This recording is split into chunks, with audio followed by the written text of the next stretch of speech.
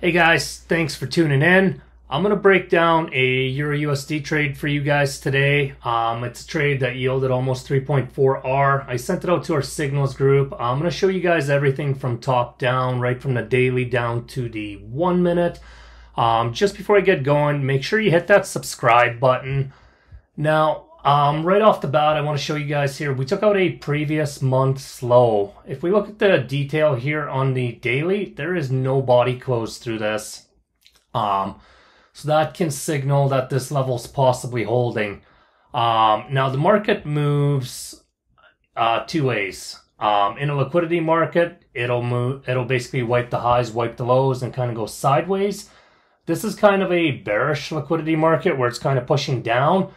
So it's going to do one of two things. Price is either coming up here to get internal liquidity and continue down, or price is going to take out the induced high. Um, the reason this high is induced is it is the last supply zone, you would say, that broke structure. Um, it doesn't look like it on a daily, but on another time frame, this would be considered a structure break.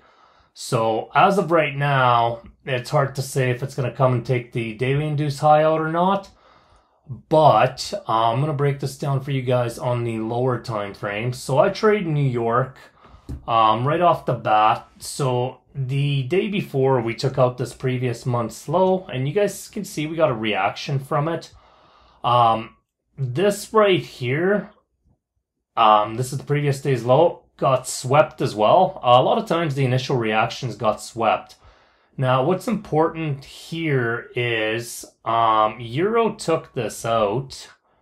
DXY actually never took this point out. So we actually had a DXY divergence right off the bat here. Um, in the same way I showed you guys this daily highs induced, uh, we have the same scenario here on the one hour this high's induced. It's the last supply that broke structure. Um, a lot of people will try a continuation model. So it is a really good place for the algo to look for liquidity. Um, now I'm going to explain all these as we go through. I'm just going to kind of play on the 5 and the 15 minute and show you guys what I was looking at. Um, at this point, I knew there was a good probability that the market could go up. However, I don't want to be the guy finding bottom in case this gets reswept a couple of times. So what I like to see is momentum candles. Um, I prefer to see at least three of them in a row without a break, basically. So like you have momentum candles here, but they weren't all momentum candles in a row. You can kind of see we broke the chain here. This could be possible liquidity. So this isn't a clean break. Um, it's not what I like to see. It's not part of my plan. I'm going to explain the OTZ and the lit as we get to it here. So in this case here, these are actually proper momentum candles. So I got three in a row here. Um, there's no break a chain. When I mean break a chain, I mean we didn't uh, violate the previous candle before. So this kind of shows there's bullish strength in the market. So you guys can see the difference here where this candle doesn't violate the second candle. The second candle doesn't violate the low of the third candle. It's very different than what we have here. Here, uh, we start out with momentum. We kind of break the chain. Um, this candle fails to break this candle goes up again, looks like it's going to gain momentum, but then price pulls back and actually creates liquidity to be taken out. Um, so that's why when this chain gets broken, um, I don't like to see that. Uh, I like to see these candles in a row. So we got three momentum candles in a row. Um, OTZ is our order transfer zone. So for me, it's the last sell range on the lower time frame. So this high took out this low, which also induces this high and its liquidity. So at this point, one of two things could happen. Um, price could continue selling, possibly make another low, or price shows us that it wants to go down. Um, truth be told, I actually sold this on the one minute and I broke even really quick because I wasn't sure if it's going to reverse or continue down, take this low out. Um, the sell was a break even. Now the buy, uh, my ideal area to get in would have been here under this lit zone. Uh, let's the liquidity induced trap. Um, for those of you that are kind of newer to the concepts, the concept is our order transfer zones, the last sell range. So it's the last set of sell candles that put in the lowest point, which would be up here. And I want to see a body break through it. So wicks don't count. So here we get a body break. Um, you would say this is lit. However, um, on the 15 minute my lits here, and the reason I'm choosing the 15 minute lit over the 5 lit, if we actually take a look at what the market left us is a set of equals. And I was actually counting on the market taking these out before I would be willing to buy. Um, unfortunately, that didn't happen. So let's just play this through. Um, so price actually once again creates momentum candles and we smash through another order transfer zone. So again, we picked the highest point that put in the lowest point. We got a body break here. Here's our liquidity induced trap. So these are kind of our two areas of interest. Uh, my nearest target from a daily perspective is the one hour induced high. So now we have two zones we're interested in. Um, best case scenario, I take out these equals. That's my lit. Um, I look for a buy. Um, we're always looking to take out liquidity before we enter with our system. So again, here you kind you can kind of see we stack this liquidity um, we didn't take it all out, so here you can see the stacked liquidity, and we took some of it out. Um, we didn't finish the job. I was hoping this would get taken out. It didn't.